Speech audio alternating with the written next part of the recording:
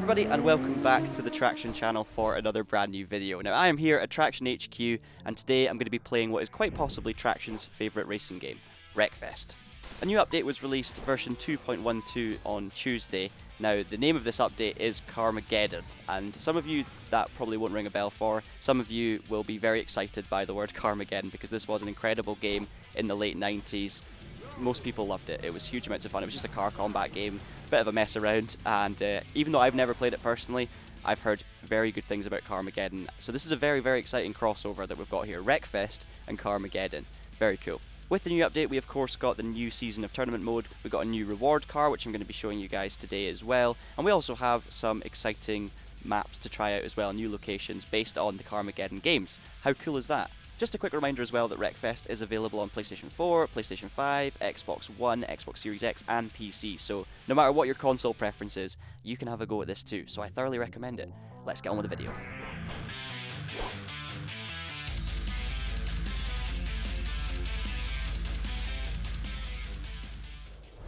First of all, here we have the new reward car, the Eagle R, and this thing just looks absolutely incredible, and I cannot wait to try it. I've not had a go yet myself, so I'm very much looking forward to that. We of course have the new daily challenges with the Carmageddon tournament, that's all fine, but what we want to know is what the new tracks are like, or should I say the old tracks, the new, the new old tracks. You see what I mean?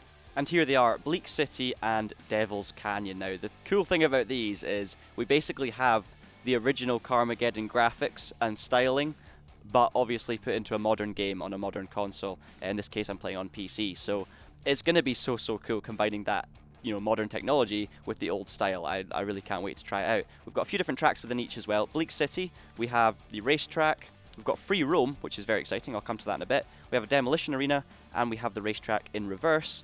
Whilst with Devil's Canyon, we have the Free Roam map and the racetrack. We'll go with the Devil's Canyon racetrack for now, and here is the beautiful new Eagle R.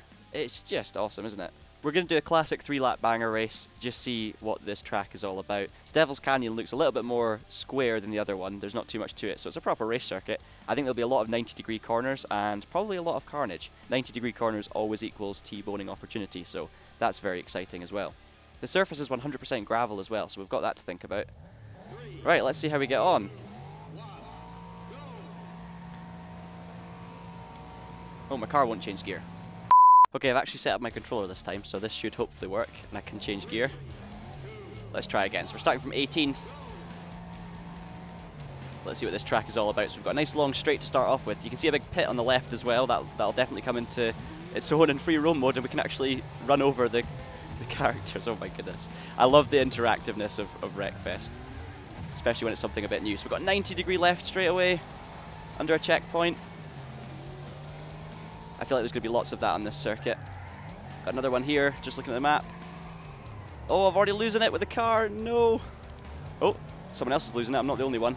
This is like a proper racetrack in many ways. That was not a proper race driver's move. Thank you very much for sorting me out.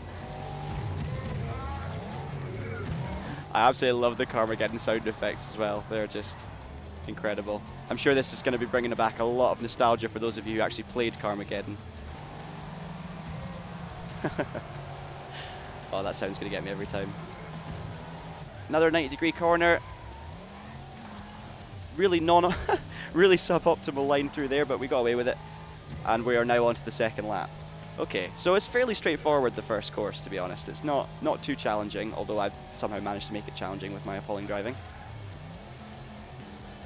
Oh, car in front's lost it. Back into P7, I've lost it. We'll cut all that out.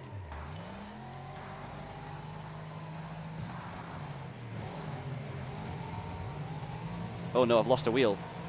Oh, this is not good. No! I've lost my drive. This is bad.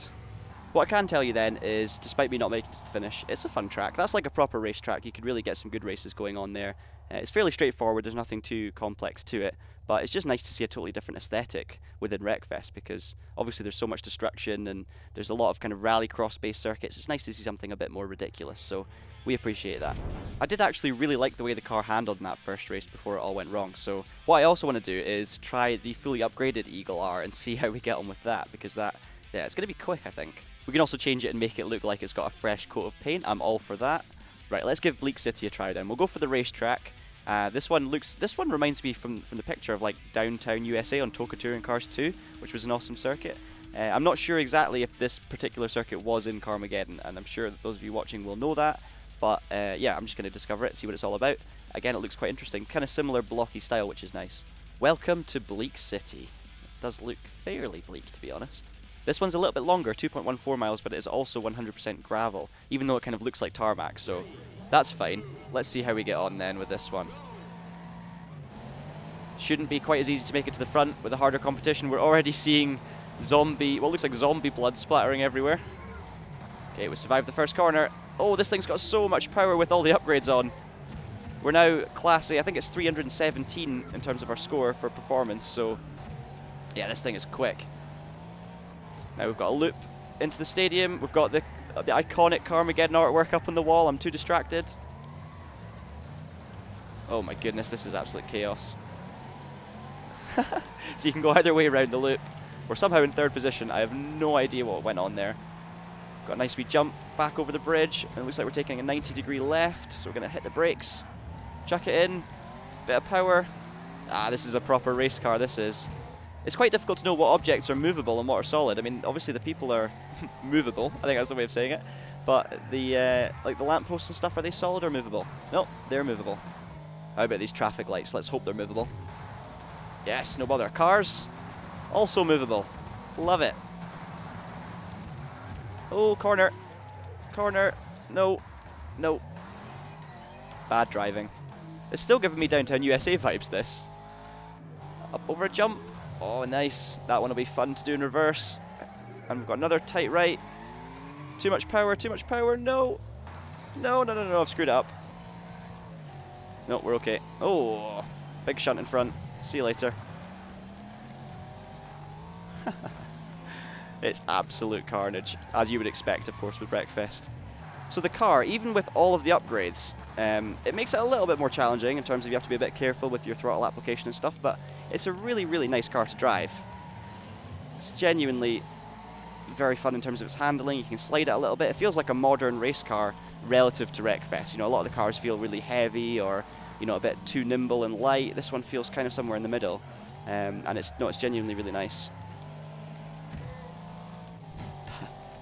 Oh, that sound gets me. Final lap. Can we catch the leader? Probably not. I think I might just have to go for the jugular here. This is our only way to win. Down to fifth position. So hopefully, I mean, looking looking at that, the carnage has increased, but uh, so we're only three seconds off the lead. So you know what? I might have actually given myself a chance here. I feel like this track is going to be popular with online multiplayer lobbies and stuff. Oh, the leader's gone into the wall. It's P2. Come on. Come on. Oh, I'm sorry. Sorry, sorry. And we are into the lead. Come on, is this the last corner? Contact, keep it together. A bit more straightforward than last time. There we go. Okay, that's made up for the disaster of race one. We're going to take a win at Bleak City, and yeah, similar kind of thing, to be honest. It's not the most mind-blowing, incredible location ever. It's not my favourite Wreckfest map. I'm not going to, you know, be begging for this one every time, but it's a really nice racetrack. It's you know the corners really lend themselves to drifting and chucking the car in, which is also a very satisfying mechanic with Wreckfest. So I'm never going to complain about that. I'm definitely going to need to try some of these other ones. We've got Free Roam and Demolition Arena in Bleak City, and just the Free Roam. I tell you what, we'll do Free Roam at Devil's Canyon. We'll give this a go because this, for like a team deathmatch or something, this is going to be absolutely insane. Oh, I need to make my car stronger. Nope. You can't make the car stronger. I'm assuming in this one we can just go anywhere, right? So all of those little pits, I say little, very big pits in the middle of the circuit, we can just drive in those. Ah, oh, this is going to be good. This is going to be good. Let's jump in. So we're all starting at different points. We seem to have a center piece there. And the team deathmatch begins. You can launch straight off there, and we're already into the, one of the pits. That was unnecessary damage. We've got some tunnels as well. I need to actually find people. It's probably going to be the hardest part. I'm going to be a very weak link in this team, I have a feeling. How does this car get on against uh, Super Big Rig? Ah, got a major hit, not so bad. This looks really cool because it's so vast. I just don't really know yet, as I was saying, what all the different places are. And I don't really know how it all links together. You know, I want to get if I want to get above. Oh, there's a okay. There's a ramp up here, so let's try and go up this way. Where is everybody? No, I'm just all I'm doing is wrecking myself. It's a personal deathmatch. Someone is totally stuck, so I've just wrecked myself off the back of the battle bus, which has given them a load of points. Oh dear. Anyway, our team is actually losing now. This is not good. I'm probably the main reason for that. Where do I go? I can imagine this location would be really fun with a group of friends, and once you actually learn where you're going. The issue I think with it is, you know, if you're playing something like a Last Man Standing, it's going to be hard to actually find drivers to hit, you know, to actually keep it going. That's going to probably be the most difficult part. Okay, Chicken Stew is looking weak. Let's see if we can find them. Oh, we found Chicken Stew? We found Chicken Stew. They're not moving very far. And I've finally got a wreck. Okay, there's another one in the corner there if my teammate moves out of the way. No, no, no, no, no. That did not go as planned. Oh my god. Oh, we're, we're tied. I need to get this last this last one. He's running away. Come on. I've only got six seconds. Oh, it's going to be the last second. No, I missed him. No. oh, that was awful. That was absolutely awful. And we lost. Looking at the scoreboard, it's actually... most people wrecked themselves. Like, most people didn't get a wreck. They just destroyed themselves. I, I think there's only four people. Yeah, four people got a wreck there. I think the AI needs some work for, for that free roam map, let's put it that way. Our last task for today is to see if I can remain the last person standing on the Bleak City Demolition Arena. So, is this car going to be strong enough? With 4.5 strength? I'm not sure, but we're going to find out anyway. I don't know which section of the map it's going to be, the Demolition Arena, but I'm hoping there's lots of jumps and all sorts. Okay, this is, oh, we're kind of in the field in the middle by the looks of it. It's, it looks big again, it really does. This time it's 100% tarmac as the surface, so that changes things a little bit. Let's see if I can be the last person standing. Now there's a lot of big battle buses and all sorts, so I'm going to have to play it sensibly. Looks like the arena's not absolutely enormous, so that helps. It keeps things a little bit together. So we're not going to lose anyone, put it that way. That's another thing, the bigger vehicles like the battle bus and the big rig and stuff, they would really struggle with Last Man Standing on one of the free roam maps. Oh no. That was actually surprisingly okay. The car dealt with it quite well. Oh, the Combine practicing for the Olympic BMX freestyle event. I've failed at it. There we go. There's a big hit. There's another one, and we get our first wreck. 41 health is all we've got left, though. I like that they've thought of traction as well with the, the pink kind of, what would you call them? Slabs of ground, little ramps, I'm not sure. you know, I'm hanging on in there. There's, there's obviously a lot of cars with much more health than me, but I'm surviving. It's going to hurt. There we go. That's another one. There's not many left. I think there's only three of us left. Oh, there's a driver floating up in the air. That is, um, I don't want to, oh no, I don't have to face the motorhome. I'm going to have to eventually though. What is the vehicle over here? Oh, they've just wrecked themselves. Okay, it's a 1v1, and I'm not going to come out of this on top. I need to get them to basically crash themselves into the wall like they've just done. Yeah, that did nothing. That's it. Head-on collision. I'm down to four, but no, the motorhome's definitely going to win this one, isn't it? I'm so impressed with the car, though. I'm so, so impressed with the car. I think the tracks are really good as well. Obviously, tracks kind of bring more to a game, I would always argue, than a car, as that's me wrecked now. I don't think I won. the motorhome definitely survived, and it was second place. Yeah, what I was going to say is that the tracks bring more variety to a video game. So for me, I would always argue that a, a, you know a new track inclusion is probably a bigger update than a new car in a game like Wreckfest because I think it, it adds more different elements to it. It creates more exciting online multiplayer racing and stuff like that, whereas a car is just another option to add to the list. With this update though, they've actually managed to make the car hugely exciting as well because it handles so nicely, it drives well, it's still well balanced and stuff like that, and it's not super strong obviously as you saw there, I mean it wasn't bad, but it's not going to win uh, last man standing in most scenarios. However, as a race car, it's just epic, and you know, it's a car that people are definitely going to want to try and unlock and and uh, purchase. I'm very impressed with that. The tracks are also hugely cool, very nostalgic, and I don't think they're they're meant to be anything groundbreaking. I think the whole point of them is there to try and uh, remind people of Carmageddon, have a bit of fun, and that's exactly what they are. I mean, they're nothing crazy. They're quite straightforward in the layouts and stuff like that.